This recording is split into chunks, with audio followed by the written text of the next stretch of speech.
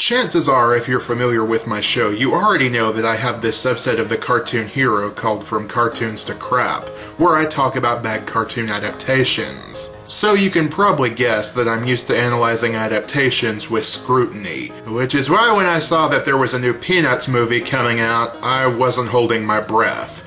A Peanuts movie that wasn't hand-drawn coming out years after Charles Schulz's death? I was having visions of the terrible Alvin and the Chipmunks movies at first, trying to translate something dated to the modern audience and in the process making it look even more stupid and dated. But when the first trailer came out, I was hooked. From the minute I saw Schroeder playing the piano under the 20th Century Fox logo, they had me. And as I watched the trailer, it just kept getting better. So yesterday I saw the movie in theaters, and folks, let me tell you, this is the standard to which all adaptations should be held to. So much so that I had to do another short review of it because I liked it so much. Now, being a Peanuts movie, there's not much to go over in the way of story. It's a slice of life show by its very nature. The little red-haired girl moves into town and Charlie Brown tries his best to impress her with the chance of making a fresh start. At the same time, Snoopy's trying to write his own story about taking on the Red Baron as the World War I flying ace, which makes up most of the actual action in this movie. Fantasy sequences or not, they're a lot of fun, especially because they actually show you what he's imagining, pairing that with what he's doing in reality.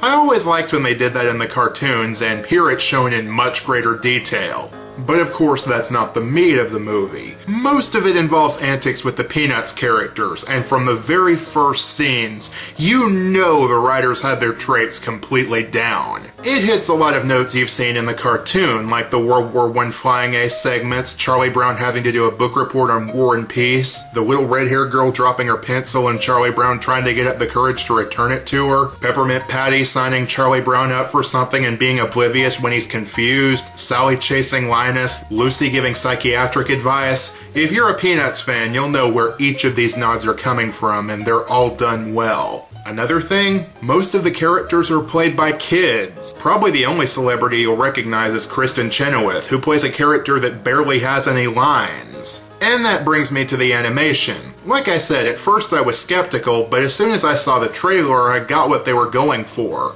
It's a style that very much captures the essence of the original series without being the exact same. But they even bring in brief comic style thought bubbles, which to me just reinforces the idea that these people get it. But it goes beyond surface shoutouts like that. Where this movie really nails it is in the heart. If you're familiar with my former Reviewers Unknown colleague Rowdy C, or just have watched the Peanut specials as much as he has, you probably know that one mistake the cartoons can make is when the characters are too mean. Yeah, part of the series is that Charlie Brown screws things up and the characters berate him and call him a blockhead for doing so, but sometimes they go above and beyond especially with Lucy or Peppermint Patty. Yeah, some of the things the writers had them do to Chuck were pretty unfair or mean-spirited, especially with Lucy. But this movie never had that. In every scene Lucy was in, it either wasn't that mean-spirited or when she was mean-spirited, she ended up getting her comeuppance, usually from her fear of dog germs. Peppermint Patty was never really mean, except for a few jokes at Marcy's expense. Even when Chuck doesn't get the cupcakes for the dance, she doesn't blame him for it and he ends up helping anyway. And in my opinion, that makes the film even better.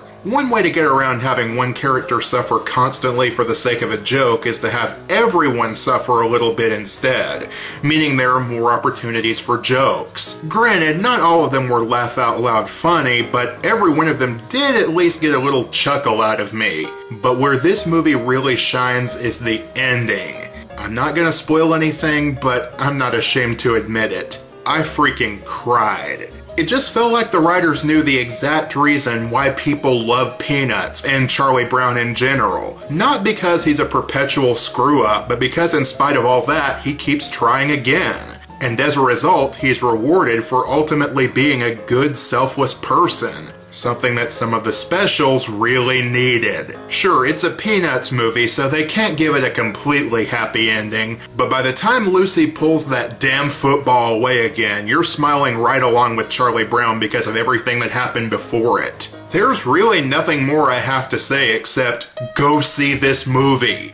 I'm not sure how much it'll appeal to kids who've never seen Peanuts, but judging by the reactions of the kids in the theater I was in, I think it'll do well and I really hope it does. This is a perfect family film that you can watch with your kids and not feel like their intelligence or yours is being insulted. Much like the animation, it may have a new look, but the Peanuts movie gets what made the original great and stays true to it in some of the best ways. It's everything that a Peanuts fan could want and more.